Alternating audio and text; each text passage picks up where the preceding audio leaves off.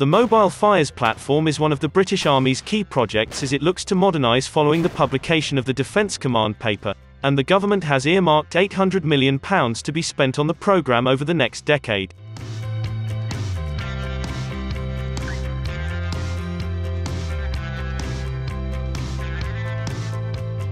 The United Kingdom ground forces are comprehensively outgunned and outranged, leaving enemy artillery free to prosecute fire missions with impunity.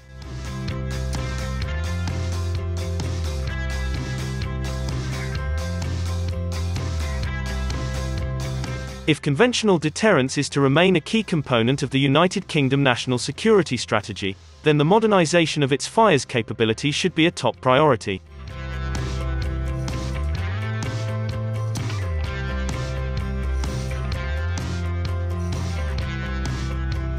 The United Kingdom has yet to decide whether the future mobile fires platform will be a wheeled or tracked system and in a recent press briefing, the British Army Head of Strategy Brigadier John Clark said, that options for the program include upgrading the AS-90 fleet to meet modern threats.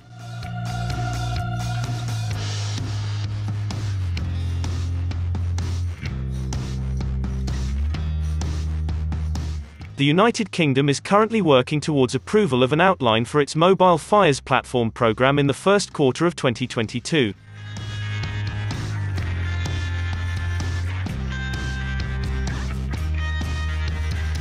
The plans call for initial operating capability of 18 systems in early 2029, and full operating capability of 116 systems worth £800 million by 2032 as the results of the United States Army trials are likely to be a significant consideration in the British selection.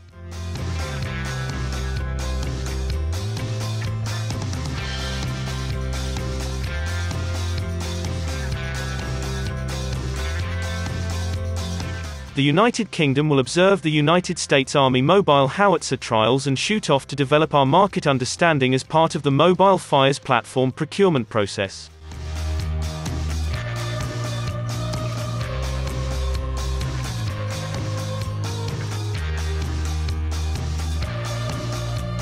Participating in the United States trials are Elbit's Atmos 2000, BAE Systems Archer, Nexter's Caesar and Yugoimport's Nora.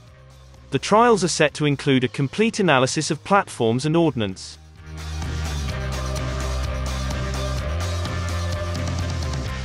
The United Kingdom is currently working towards approval of an outline business case for the program in the first quarter of 2022, with an eye towards a full operating capability of 116 guns in 2032. Initial operating capability for Mobile Fires platform is aimed at 18 guns in early 2029.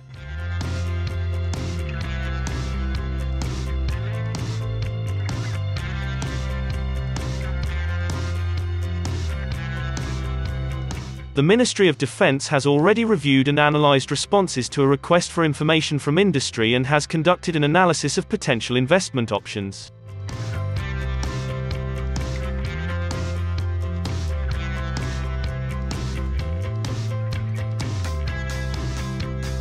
Over the next quarter, the Ministry of Defense plans to develop the program's procurement strategy and plan the project's future assessment phase.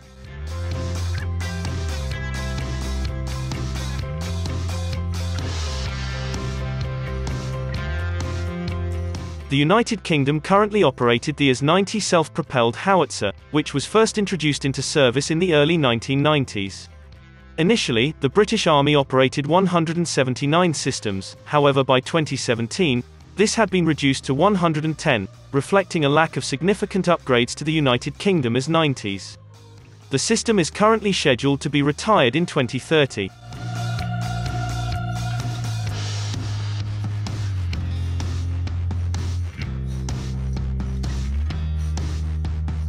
The AS-90 is a 155mm self-propelled gun that equips three field regiments of the Royal Horse Artillery and Royal Artillery.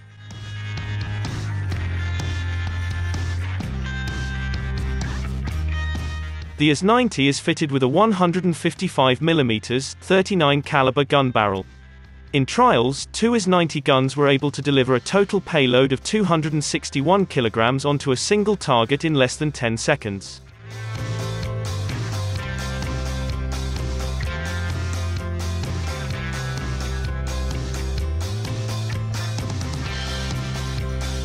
An automated loading system enables the gun to fire with a burst rate of 3 rounds in fewer than 10 seconds, an intense rate of 6 rounds a minute for 3 minutes and a sustained rate of 2 rounds a minute.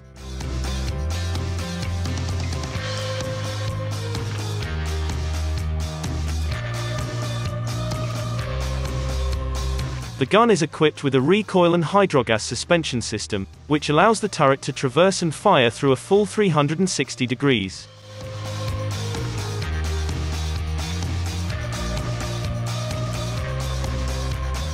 The AS-90 has been upgraded with the BAE Systems Laser Inertial Artillery Pointing System digital gun sight. This gives the shooter the precise position of the weapon and bearings as well as the height of the barrel.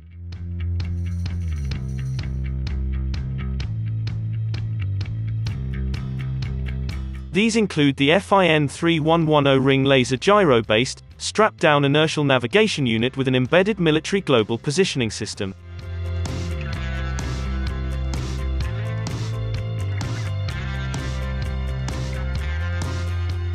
The program to replace the British Army's AS-90 self-propelled artillery has suffered delay, with the forthcoming howitzer not expected to reach initial operational capability until the first quarter of 2029.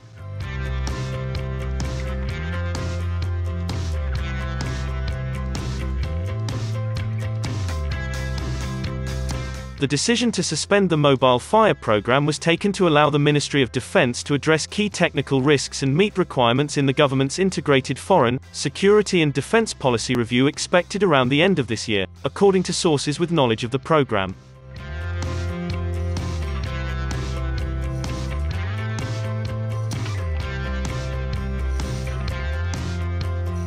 Britain's new heavy artillery was originally set to gain initial operational capability in the fourth quarter of 2026, but the Ministry of Defence confirmed that it has now been returned to the first quarter of 2029.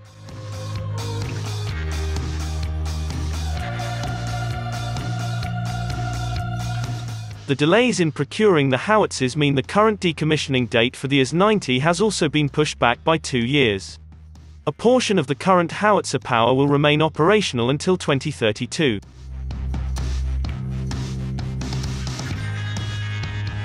The revised schedule for the new procurement process is currently being developed by the Ministry of Defense.